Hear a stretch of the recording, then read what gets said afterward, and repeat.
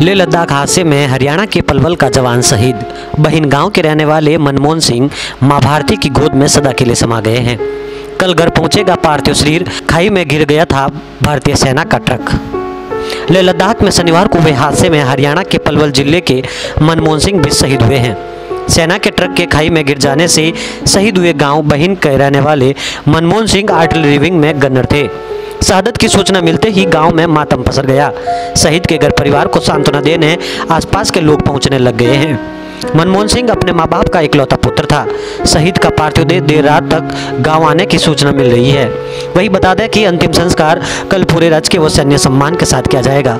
शहीद मनमोहन सिंह की तीन बहनें हैं, जिनकी शादी हो चुकी है। गाँव के सरपंच विक्रम का कहना है कि मनमोहन सिंह पढ़ाई में काफ़ी होशियार थे।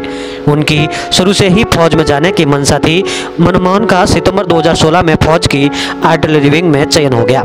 करीब पाँच महीने पहले ही उनकी पोस्टिंग लेह लद्दाख में हुई थी।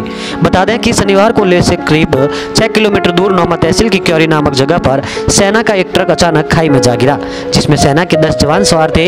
इनमें से आठ जवान मौके पर शहीद हो गए, जबकि दो को लेह अस्पताल पहुँचाया गया। इनमें से एक जवान शहीद हो गया।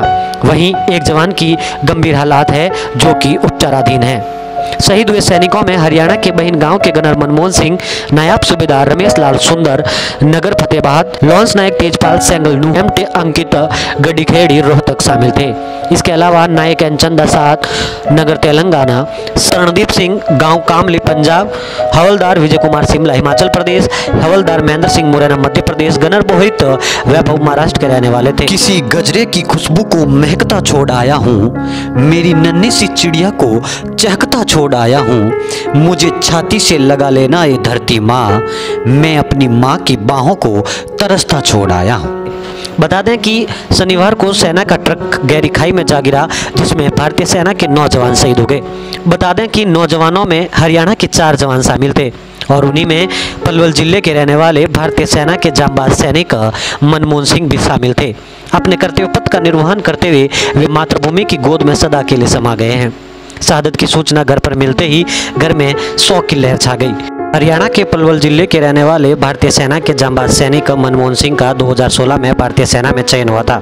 बता दें कि वे अपने घर परिवार के इकलौते चिराग थे, जो कि देश की रक्षा करते हुए वीरगति को प्राप्त हो गए। सही जवान का पार्थिव शरीर कल तिरंगे में लिपटकर सेना के विशेष वाहन से सड़क मार्ग होते हुए उनके पैतृक गाँव पहुंचेगी, जहाँ सैन्य अधिकारियों की मौजूदगी में सही जवान के पार्थिव को पंच तत्व में विलीन किया जाएगा। कभी कड़ाके की ठंड में ठिठुर के देखना, कभी तपती धूप में चल कर देखना। कैसे होती है हिफाजत अपने देश की, जरा सरहद पर जाकर देखना। शहादत की सूचना परिजनों को मिलते ही घर पर दुखों का पार टूट पड़ा है। तीन बहनों के भाई मनमोहन सिंह मातृभूमि की रक्षा करते हुए वीरगति को प्राप्त हो गए।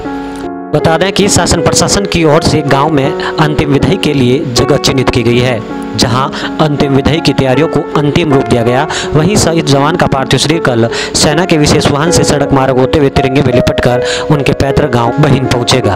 हम चैन से सो पाए, इसलिए ही वो सो गया।